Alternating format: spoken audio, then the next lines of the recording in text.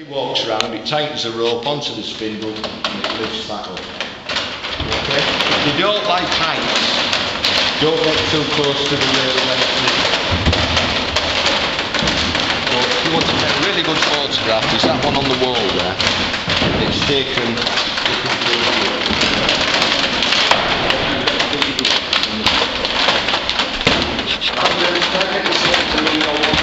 There he goes. Bit of exercise. Could do with a bit of exercise.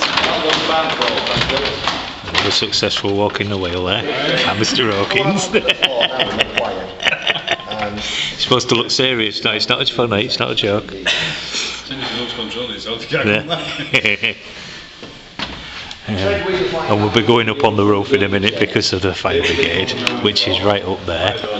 Can you see that? Looks as though lights shining down on the van there, look, when you look down.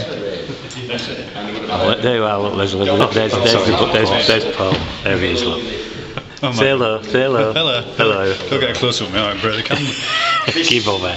Anyway, I'm turning off now because I think, I think we've done enough recording. Go on. See you later, bye.